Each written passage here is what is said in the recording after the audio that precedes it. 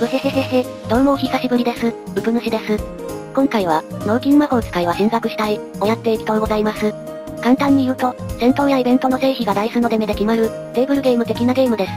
合格と、うん、ま、かせ、神、だ、のみ、なゲームに聞こえますが、判断力や計画性も試されます。うぷ主も何時間もぶっ続けで遊んだ、中毒性があるゲームです。名作故障。というわけで、はい用意スタート。まずは最初から持ってる経験値で、思いつく、します。そいつが俺のやり方。主人公には、頭、体、腕、足、の部位ごとに、技とレベルがあります。例えば頭は MP 回復、体は状態異常耐性、腕と足は攻撃だったりします。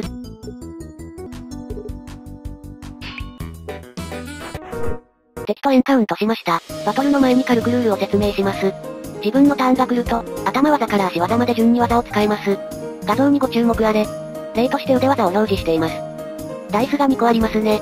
技を使うには、対応する出目のダイスを使います。今回は、出目2のダイスを選べば攻撃力1でパンチか平手打ちを出せるわけです。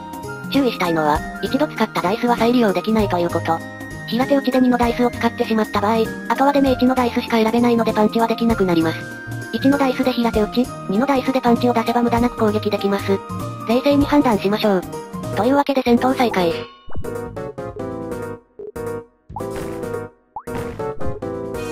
まず一勝次は本気で来いよワンサゲーン。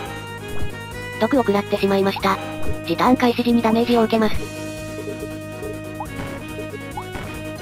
傷だらけの初勝利、休憩してもいいですが、次のイベントで回復するかもしれないのでこのまま進みます。回復ではありませんでしたが、犬からエクストラダイスをもらいました。戦闘やイベントで使える使い捨ての追加ダイスです。クライミングのイベントです。うまく崖を登れば経験値がアップですぜ。失敗すればダメージを受けますが一応経験値は少しもらえます。でも今は確実に失敗するのでやめておきましょう。なんでかわかるか？やはりわからんか。レベルが低いだろう。またもイベントです。こちらは頭レベルがキーとなります。先ほど犬にもらったエクストラダイスを投入。出目が悪い時のリカバリーに使えます。でも家臣は禁物。木の正体見たり、道端の木の本性は血も涙もない魔物だったのか。武道家に技を教わるイベントです。終盤に向け、体技も欲しいところですが、足技が何もないのも不安なので今回は足を選択。選ばれたのはハイキックでした。強力な技がないと終盤自利品になるもんね。ボンビー。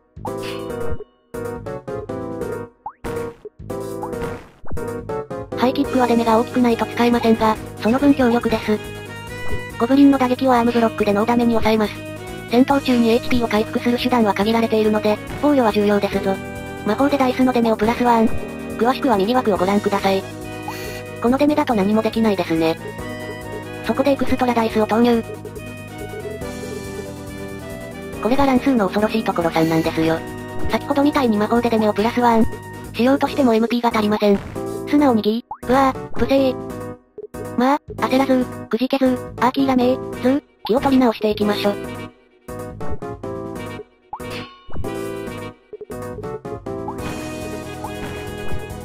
これが来ると分かってても避けられない、本物の武術家のケリア。まあ武術家やのうて魔法使いなんやけどなブヘヘ。いい機会なのでストーリーの説明をしましょう。主人公トティも、シングアック、シティはとても進学したい女の子。しかし、実技試験で飛び膝蹴り一発でゴーレムを解体した結果、不合格に。実は死死強化魔法を使っていたのですが、この世界では珍しい魔法なので試験官には理解できなかったようです。まあ、他の人がレーガンとか霊気の剣とか使ってる中、一人だけ爆肉抗体とか使ってるようなもんですからわからんでもないけど。で、なんやかんやあって実力を証明するためもあり学園で使う素材を取りにダイスの森に行くことに。ゲーム本編の方ですが、裏拳とアッパーカットを習得。裏拳は出目が小さいほど有利な変わった技です。ここはプラスワンを3回使えば左の敵を倒せますが、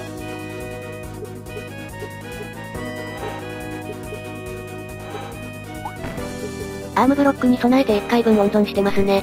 結局必要ありませんでした。プラスワン3回使った方が良かったですね。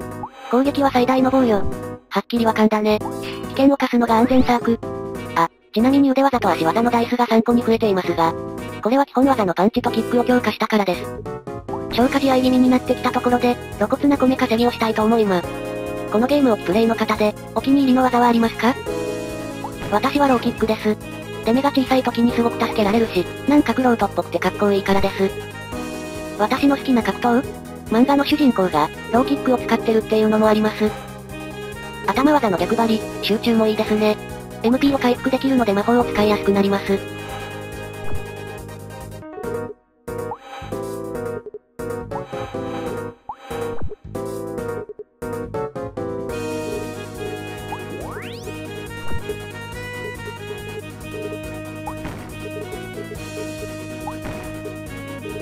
勝利、ヘビーな戦いだったぜ。言い忘れていましたが本作には時間制限があります。休憩をしたり、イベントの結果で時間が経過していきます。マイナスになるとそこでゲームオーバー。今は残り6時間なのでなんとか間に合いそうですね。イベント方向感覚です。頭レベルの都合上、デメ6を出してもベストの結果にはなりませんが、4以上を出せば時間マイナス1で済みます。何エクストラダイス現代発射したのに4以上が出る気配がまるでない。時間をマイナスにされてしまいました。とほほ。右端のビリビリピンクゴブリンは少し厄介です。こいつは防御力が1あります。つまりこちらの攻撃のダメージがマイナス1されるというわけです。タフなのでまず弱き者から買って頭数を減らしましょう。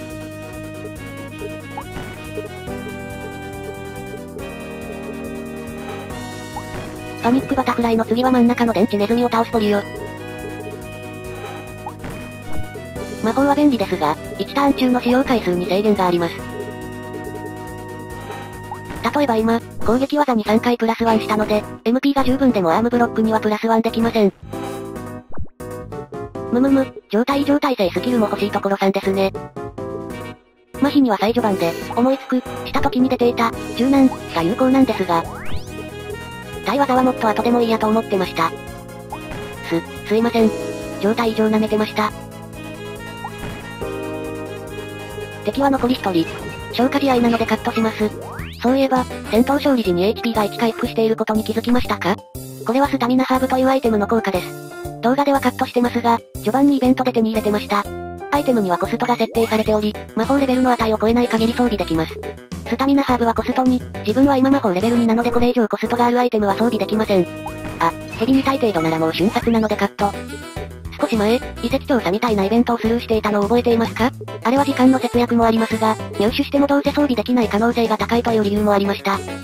魔法をガンガン使うスタイルの場合は、アイテムを積極的に入手してもいいかも。経験値が溜まったのであれこれ強化してますが、本当はもっと積極的に経験値を使った方が効率的ですね。緊張感から加藤さに悩むようになってきたでこの戦闘は倍速します。この辺まで来ると、もう普通に4連続で環境技とか出せますね。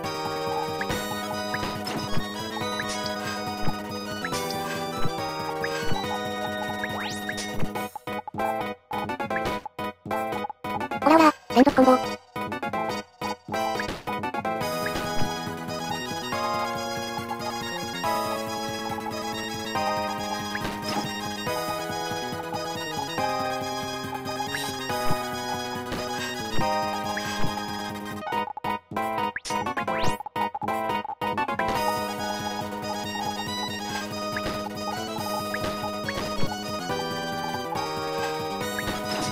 や、やった。あ転落を防ぐイベントです。成功すればノーダメプラス経験値ゲット。腕レベルが13もあるので楽勝ですね。爆笑宣言。魔法習得イベントです。うまくいけば少ない時間消費で済みます。頭レベルが6もあるので楽勝ですね。時間マイナス1程度で済む。で、め、い、ち、エクストラダイス1個は温存します。時間マイナス2で妥協しましょう。覚える魔法は、とりあえずリバースにしました。ダイスを逆にする魔法です。例えばでメ1の時に使うと6になります。ひっくり返したレア次はいよいよラストボーズです。いろいろ準備します。麻痺対策に柔軟を習得し、強化。あとアッパーカットも強化。休憩して体力を万全に。ちょうど残り時間を使い切りました。戦闘開始。畜生武者震いが止まらねえ。MP 回復技。MP が満タンでもつい使っちゃいますよね。私だけ？しょっぱなから裏剣とアッパーをマックスでぶち込めました。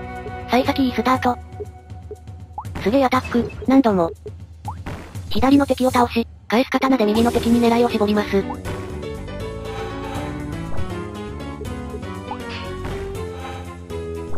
麻痺と混乱を同時に食らいました。麻痺に強い柔軟を持っているのでダイスが増えます。終盤になると状態異常を複数同時に食らうことが多いので、耐性技があると助かります。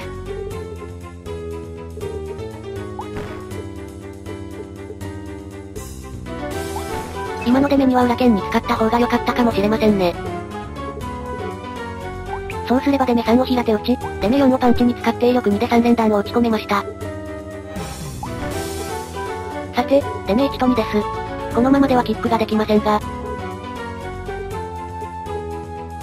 手を使わずにダイスを動かす芸を見せてやるよ。リバースが早速役立ちました。この魔法超助かる。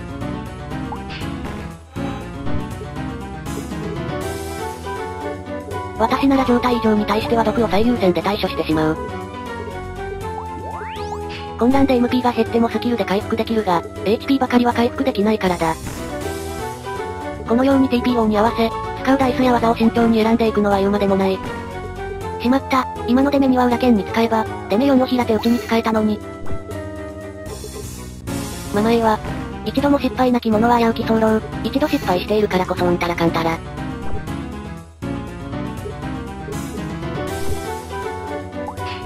攻めが渋くなってきましたね。渋いなぁ。温存していたエクストラダイスもさっき使い切ったし、マントラを唱えて祈りましょう。私は大胆で誇り高くダバなき奏者であることをここに誓う。我がニコニコとビーム兄貴の栄養を保つことをここに誓う。ニコニコの規約に服従することをここに誓う。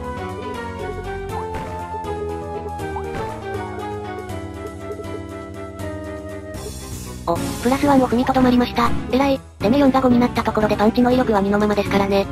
ここ、威力4の灰を出そうとデメ5にプラス1してますが、デメ1をリバースで6にし、ハイとキックの2連打を浴びせた方が効果的でした。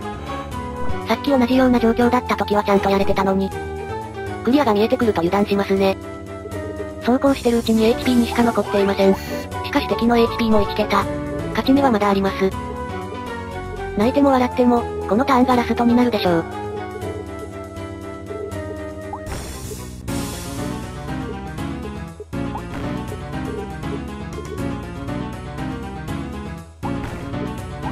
次の足技が最後のチャンス。デメ6と5以上が出れば、ハイキックとキックで KO できます。ところでカール、聖眼が、もしかしたら事実かもしれない三大オカルト現象の一つに、人間の思考がコンピュータの乱数に影響を与えることを挙げているのをご存知ですか？実は足はね、超能力者なんでやんす。デメ6と5以上を出してみせましょう。ま、嘘なんですけどね。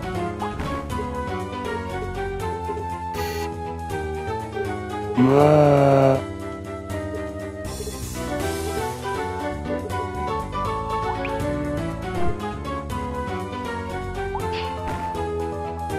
俺の青春はインドシナで終わった。敗因を分析すると、やはりラストバトルでの細かいプレイングミスが最大の理由でしょう。あと、序盤で覚えた頭技の先見を使いこなせなかったことですね。敗北で終わるのもなんなので、この後ロクったリベンジマッチをご覧ください。今回は前回の反省点を活かしています。さあ昨日の、お前を、超えて、行くんだ。今回は腕技は控えめ、その代わり他は全体的にパワーアップしています。装備中の吸血の指輪は、敵を一体倒すと HP が回復しますぞ。はは。何をお出ししましょう？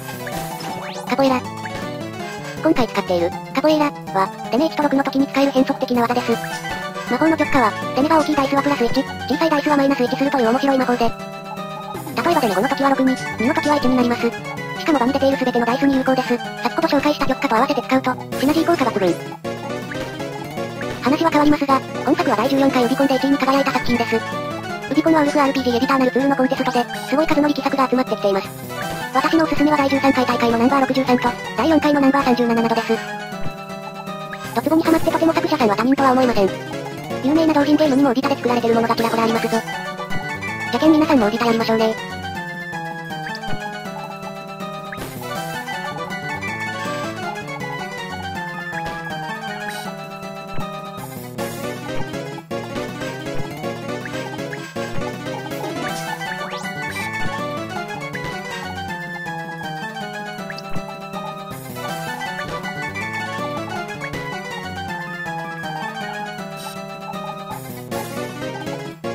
森のカリスマラッパーにはカリスマ、を告げる時が来ました。よし、ボスキャラをやってやったぜ。今回は難易度ノーマルでやっていますが実はハードでクリアしたこともあるんですよ。しかし YouTube だと、ベリーハードで、しかも RTA で走った猛者もいらっしゃいます。すげえ、皆さんもぜひやってみてくださいね。